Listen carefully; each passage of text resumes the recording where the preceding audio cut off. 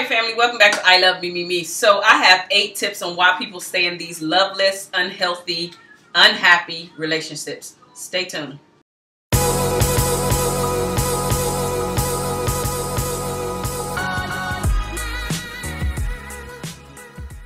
All right, family, thank you so much for coming back to I Love Me, Me, Me. So today's question of the day is why do people stay in these unhealthy, unhappy, loveless relationships? So as I already said in the intro, I have eight tips for you. So let's go ahead and jump in. Okay, family, so let me just first start off by saying that all of these tips are wrapped around fear, fear, fear, fear, fear, fear, fear. Fear of the unknown. So, first tip is they are fearing not knowing what's next. So I already know what I'm getting here. It's probably going to be something similar out there like this. So why go out there and do anything else? And uh, Les Brown talks about this. How come people stay in their known hells versus unknown heavens? And that's pretty much, she's letting you know. She's telling you that you are staying in a known hell versus moving into an unknown heaven. but seriously, most people have that super fear of the unknown. So I don't know what's going on over there. So I'm going to stick right here where I'm at. The second thing is that there is always that fear of, am I going to find somebody else? There's always that fear. Even though we hear it a million times, there's so many more fish in the sea. But am I going to find that next fish in the sea? Is he going to be exactly like this same guy that I'm dating? Is she going to be exactly like the same girl I'm dating? Because if that's the case, I might as well just stay right here because I know about this one. I know what this person does. Even though I don't like it, I'm going to stay in this known hell. I'm going to stay in this known unhealthy, unloveless, uh, unhealthy, unloveless, this unhealthy, loveless relationship because I know I know about this one right here. The third reason I know so many people are guilty of, and they are just hoping that things are going to get better or back to the way things were previously when they were happy, healthy, and blissful times versus this unhealthy, unhappy, loveless time. So they're hoping that it's going to get better. And, and a lot of times it don't because a lot of people don't take the time to absolutely work on their relationship. We work on everything else but our relationship. And then we wonder why they don't work because we're giving all of our time, energy, and effort to everything else but in our relationship because of fear. Ain't nobody gonna get me before I get them. It's all fear. It's all wrapped up in fear. And fear is false evidence appearing real, as my homeboy Les Brown always says. False evidence appearing real. It ain't real.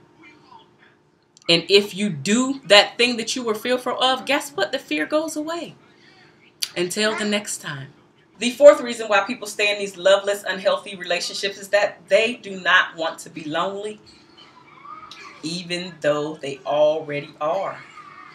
So you're not happy in this relationship, but you're staying because you don't want to be lonely. Because in your mind, the person is absolutely going to come home. So they are a space filler within your household, but you're still lonely. There is no laughing moments. There is no. There are no laughing moments. There are no happy times. There are no jokes. There is no cuddling. There is no, sometimes not even sex. But they're okay with being lonely because they have a body there. Thinking, I'm not lonely, but you are lonely. Again, all wrapped up in fear. Am I even going to find anybody else? How much time is it going to take to find somebody? all wrapped up in fear. I don't want to be lonely, so I'm going to stay in this known hell versus that unknown possible heaven. Number five, a lot of people do this, is stay in because of the finances. For that convenience of having lower bills, being able to save more money, etc., etc., etc., etc. So you know what? I'm going to keep this body here because I don't want to pay all of these bills by myself. Or maybe I cannot afford to pay all of these bills by myself. So what we going to do is we're going to stay here in this miserable situation. This unhappy, unhealthy, loveless relationship. At least for the time being. Maybe you actually get it together. Maybe you never do get it together. As in up here, psychological. Maybe you get it together and say, you know what, enough is enough. I don't care. I'm going to struggle. But guess what? I'm going to have my sanity a lot of us don't do that. We're like, you know what? I'm going to stay for these bills. I need some help. I probably shouldn't have took on this mortgage by myself anyway because I knew I couldn't afford it, but it was two incomes at the time. And a lot of us live above our means anyway, but that's a different video. So moving on. The sixth reason is because you are looking to be in any, any, any relationship at any cost. It don't matter what you're losing. It doesn't matter what you're missing out on because you want to be in a relationship. Doesn't matter if it's healthy. Doesn't matter if it's loveless. Because you want that body, because you want to post them sexy pictures or those selfies or the stage pictures that I was talking about in my video, I think two, two days ago. That's why. The social media video. Of course, I'll post it up here and down below at some point in this video. But check out that video on the effects that social media has on the relationships. This is something that I'm talking about as far as the staging goes. As far as let's take a selfie so we can post and let everybody know that our relationship is the biggity bomb. Do, do they use that anymore? Anywho, I do, but I'm just saying. so we, we're, we're staying in these relationships at any cost. Not thinking about your sanity. Not thinking about, you know what, I actually can make this work on my own. But I don't want to.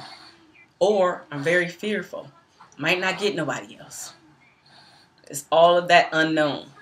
Number seven, a lot of people do this as well, which you do not want to have another or a failed relationship. So you know what? Just going to stay in this one because this one at this point has not failed because we are still in the same household. We're still dating. We're still going out together, whatever it is. But because you don't want to have a failed relationship is another reason why you are staying in that relationship. The last one, and I'm sure everybody was like, I know she's going to say it at some point, and I am. It is here because of the children. Yes, people stay in loveless, unhealthy, unhappy relationships all the time because of the children. I'm going to say that that is wrong, but to each his own. It's wrong because the only people that actually um, hurt or get hurt in this situation, and I'm not saying the only, but the main people, let me say that. The main people that get hurt in the situation when you're staying only for the children, ironically, is the children. because you're thinking that you're staying so they can have this two-parent home.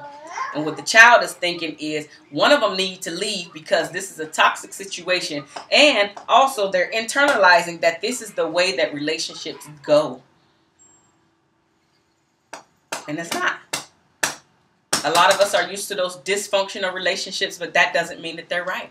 It doesn't mean that you can't change. It doesn't mean that you have to continuously do the things that you were shown or um, that you've seen as a child. We have to continuously thinking about breaking those generational curses because they they are rooted deep in a lot of us. And so if we can save a lot more generations by getting race by getting rid of the generational curses or that it has to be this way, like I have to get smacked in my relationship because my mama got smacked. Beatings are good, abuse is good. It's not